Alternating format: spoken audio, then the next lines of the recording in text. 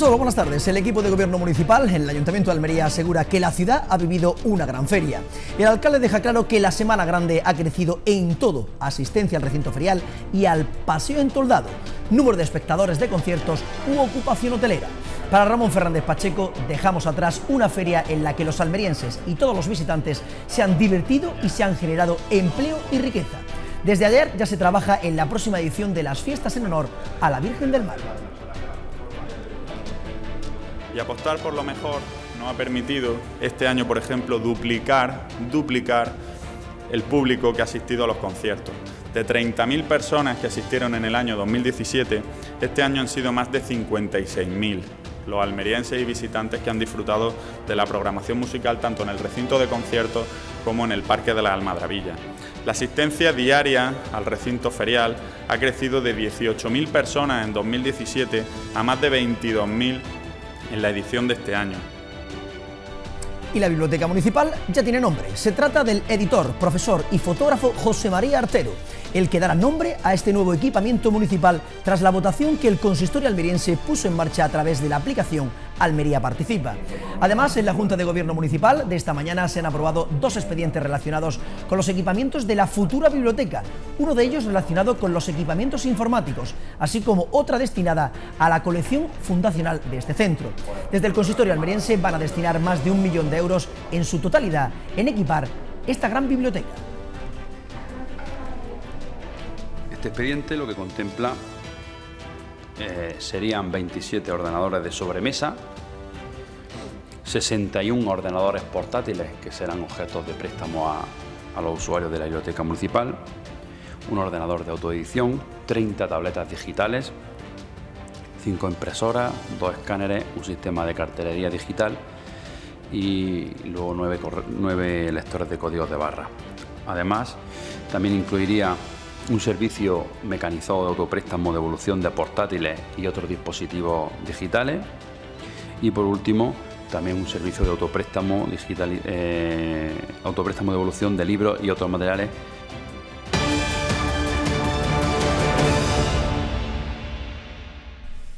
Gran Feria, la mejor edición musical o el paseo patronalizado como eje dinamizador de la Feria del Mediodía han sido algunas de las frases que extraemos del balance oficial de la Semana Grande almeriense.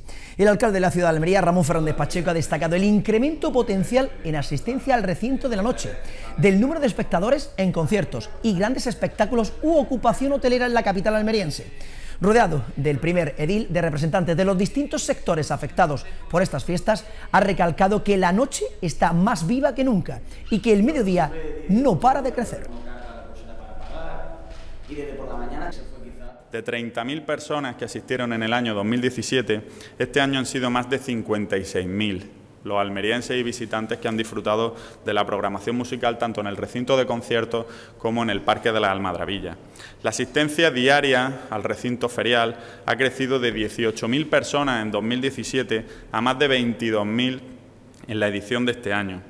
Entre los cuatro aparcamientos eh, que, se, eh, que se organizaron para la feria, hay que recordar que este año había más plazas de aparcamiento que nunca, organizadas por el ayuntamiento han tenido una ocupación media del 93%. La ocupación hotelera ha pasado del 90% del año pasado al 95% de media este año, con varios días eh, situándonos en el 100%. Y hablando de cifras de la feria, el alcalde de la ciudad de Almería ha subrayado que el Cultural Fest ha supuesto un impacto económico de 5 millones de euros y en su primera edición ha situado a la ciudad de Almería en el circuito de grandes festivales.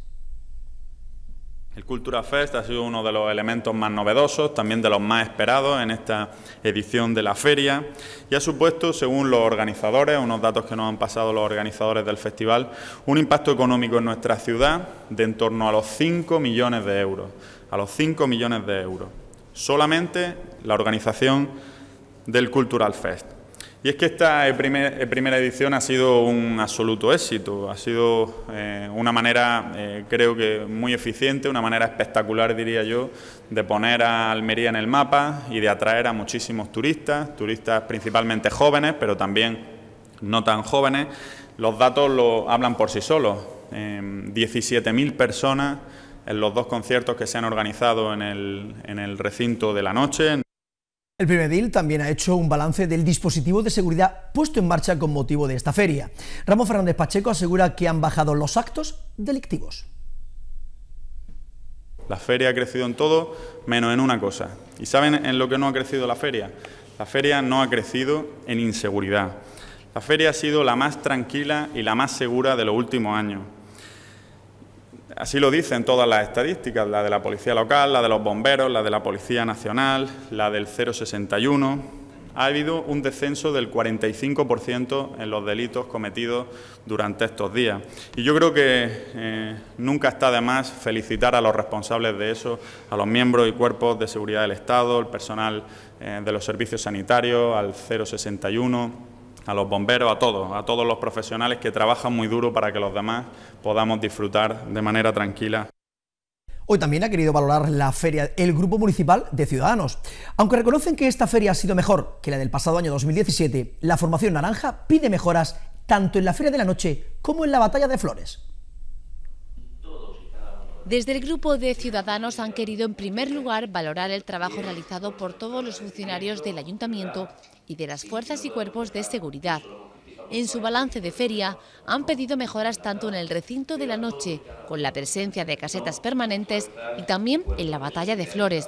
En opinión de Miguel Cazorla, la cabalgata fue un esperpento. Y creemos, creemos que el tema de la batalla de flores es un elemento importantísimo para darle vida a los barrios. El problema es que lo hemos dicho muchas veces, este equipo de gobierno no cree en la participación ciudadana y la batalla de Flores es un exponente importante de la participación ciudadana. Y esa participación ciudadana, pues cuando no se cree, pues no se ponen más carrozas, no se invierte más, no, no hay más nada. Con lo, con lo cual, al final, deslucida y un poco la palabra que nos decían muchos almerienses por la calle es patética. Por otro lado, desde la formación naranja han valorado de forma muy positiva el nivel de la programación de conciertos de la feria de este año, con grupos y artistas de gran calidad que han atraído a muchas personas hasta el recinto ferial de la Vega de Acá. También Izquierda Unida ha tomado hoy la palabra para realizar su balance de esta feria 2018. Según la propia concejal de Izquierda Unida, Amalia Román, desde su formación política piden al equipo de gobierno mejoras en el recinto ferial de la noche, así como mejorar su transporte público. Izquierda Unida también ha querido realizar su particular balance de esta feria 2018 que acaba de terminar. Amalia Román considera que la Semana Grande de Almería ha tenido actuaciones y actividades positivas pero pide mejoras en el recinto de la noche, con la instalación también de casetas permanentes que durante el resto del año se puedan ceder a las asociaciones vecinales. Nosotros entendemos también que otra de las fórmulas para que la feria de Almería vuelva a recuperarse, como hemos dicho, eh, las casetas permanentes, conciertos gratuitos y actividades culturales importante que por la noche se sigan haciendo actividades como tener grupos de caricaturistas, de grafiteros, de artesanía en vivo. Es decir, nosotros creemos que estos colectivos pueden estar representados en la feria. Desde Izquierda Unida también se pide que se mejore el transporte público hasta la feria de la noche para evitar colapsos en el tráfico, como los registrados este año principalmente en los días de conciertos. El alcalde de la ciudad de Almería, Ramón Fernández Pacheco, ha respondido a las críticas, resaltando los datos objetivos de asistencia a la Feria de la Noche o el éxito de la apuesta musical. Por otro lado, el primer edil pide más implicación a la sociedad almeriense en la próxima edición de la Feria de Almería. Lo primero que tienen que hacer los grupos de la oposición es montar caseta todos. Eso es lo primero, ¿no? Y no todos los grupos de la oposición montan caseta. Evidentemente, eh, para los que sí lo hacemos supone un esfuerzo económico importante un esfuerzo económico importante, pero también forma parte de la responsabilidad social que tenemos con nuestros afiliados, nuestros simpatizantes. Habrá que hacer un llamamiento también, yo lo digo siempre y no, no tengo ningún problema en repetirlo, ¿no? a determinadas empresas de Almería que tradicionalmente montaban casetas y que, y que era una buena manera de devolverle a sus empleados o a sus clientes o a sus socios eh, parte de lo que ellos le aportan a lo largo de todo el año, pues creo que montar una caseta eh, pues también sería una buena manera de hacerlo. ¿no? Al final la feria la hacemos entre todos, nosotros lo único que hacemos es coordinar.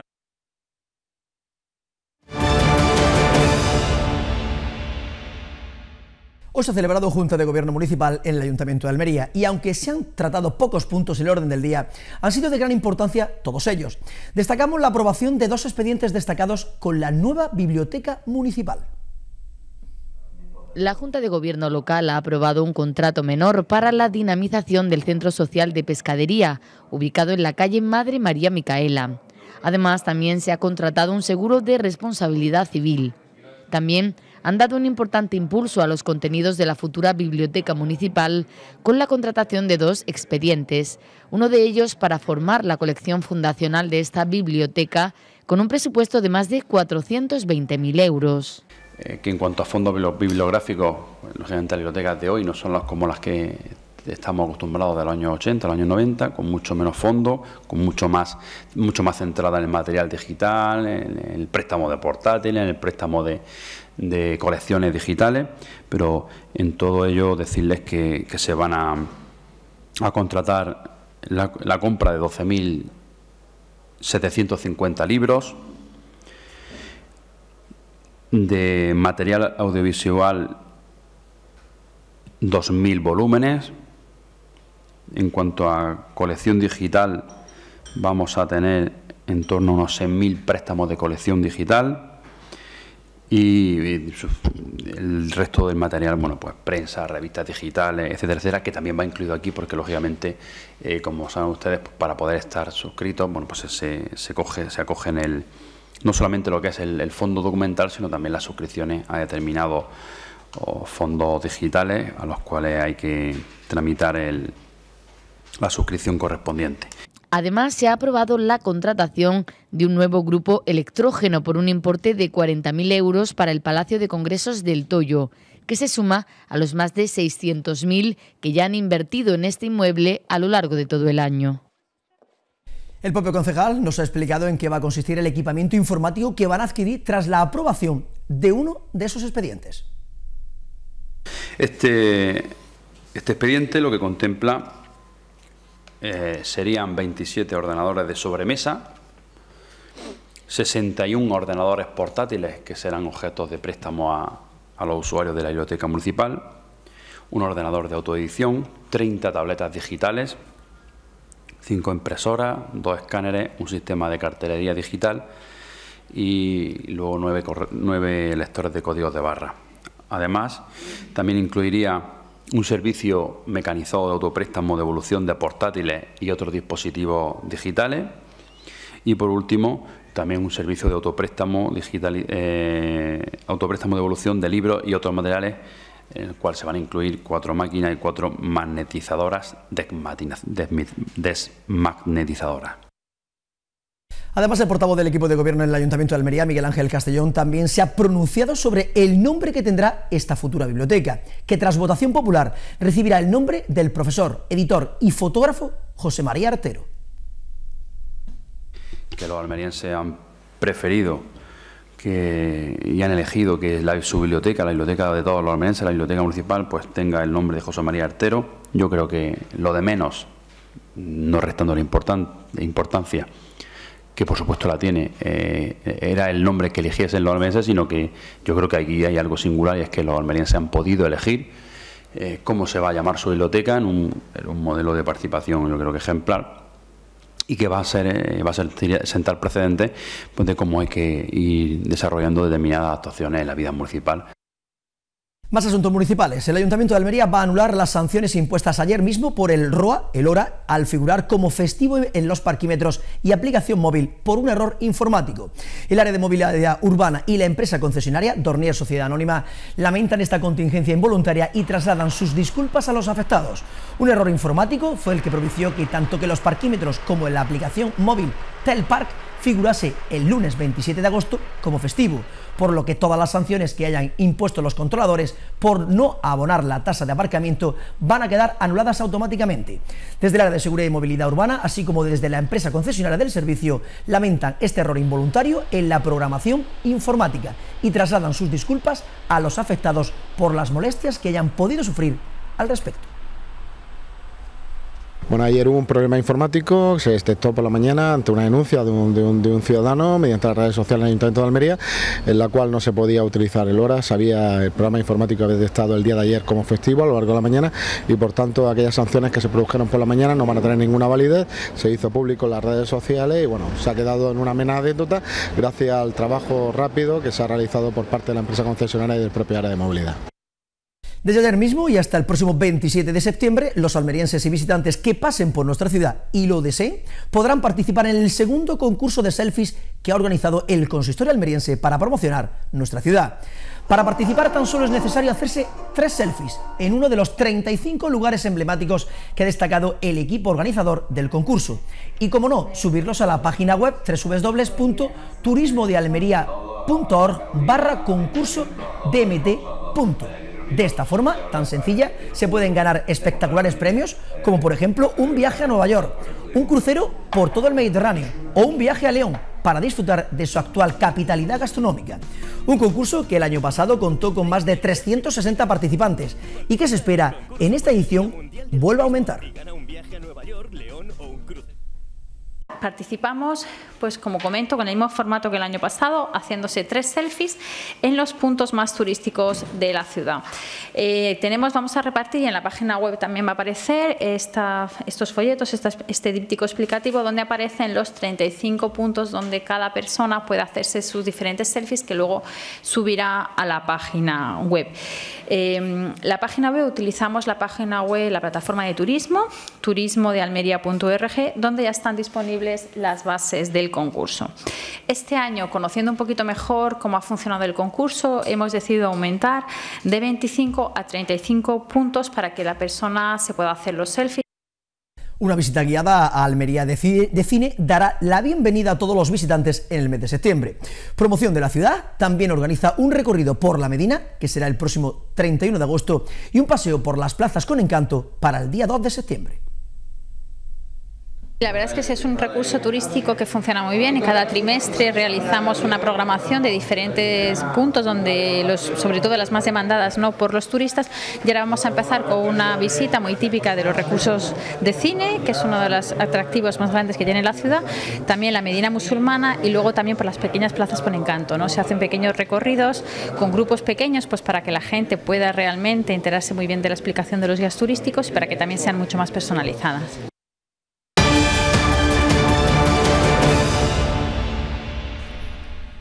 La Guardia Civil de la Comandancia de Almería se ha hecho cargo de los 63 kilogramos de goma 2 y los 288 detonadores hallados en una mina abandonada en el paraje La Tolva de la Sierra de Gádor, término municipal de la Guarda El explosivo fue localizado el pasado 21 de agosto por un vecino a 300 metros de la entrada de la mina, en un lugar de difícil acceso que había permanecido cerrado, pero que debido a la erosión del agua era accesible por una pequeña apertura en la ladera del monte. Tras examinar el material de unos 30 años de antigüedad y comprobar que se encontraba en muy mal estado, los agentes acordonaron toda la zona e hicieron una destrucción controlada en el interior de la propia mina, quedando la misma completamente cerrada tras la explosión.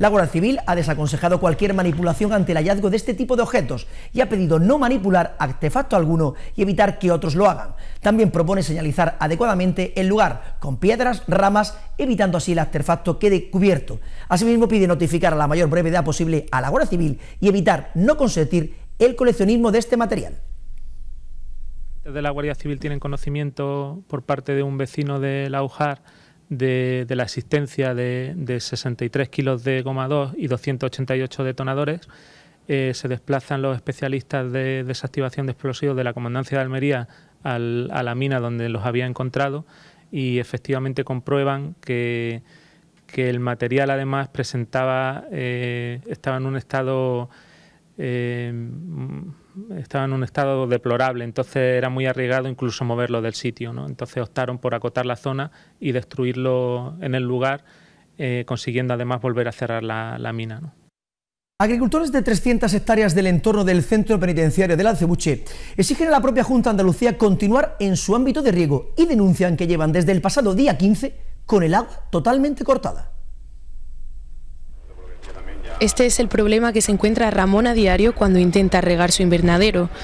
Desde el pasado 15 de agosto, él y otros 70 agricultores del entorno de Alacebuche sufren el corte de agua tras un aviso de la Junta de Andalucía. No entienden por qué la Administración regional les obliga ahora, tras 15 años, a dejar la comunidad de regantes Cuatro Vegas y pasarse a la del campo de Níjar. El día 15 de agosto nos mandaron un burofax de que estamos fuera de ámbito y nos han dejado sin agua. Eh, el motivo, no lo sabemos. Me supongo que será la Junta Andalucía la que tiene que hablar. Somos 300 hectáreas las que estamos fuera de ámbito, 70 agricultores y lo que queremos es que seguir siendo comuneros y que no echen agua de nuestra comunidad. No es lógico que hagan un cambio de ámbito de riego sacándonos de nuestra, de nuestra zona. Luego entrarán otros políticos y dirán, ustedes, esto es de Nijas, para Nijas, y nos quedamos sin agua totalmente. Una exigencia que les va a suponer importantes contratiempos en pleno arranque de la campaña y un notable desembolso económico. El agua antes normalmente costaba aquí 46 céntimos, ahora si nos vamos a la otra comunidad nos cuesta 52, más 5.000 o 8.000 euros por hectárea. Estos agricultores han intentado sin éxito contactar con la Junta de Andalucía. La zona del Poniente y Almería Capital están en la alerta amarilla por altas temperaturas este martes, mientras que el resto de Andalucía no experimenta ningún aviso por altas temperaturas u otros fenómenos, según la Agencia Estatal de Meteorología EMET. En concreto, el aviso se mantiene activo desde las 10 de esta mañana hasta las 4 de esta tarde, de este martes, y se espera que se registre una temperatura máxima de 37 grados. En cuanto al resto de la comunidad, no hay avisos por lluvias en las provincias de Sevilla, Córdoba, Jaén, Huelva y Granada, como en las jornadas previas, y las máximas temperaturas que se esperan en Andalucía son los 41 grados en Andújar, en Jaén, o los 40 grados de Morón de la Frontera, en Sevilla, Córdoba y Granada capital.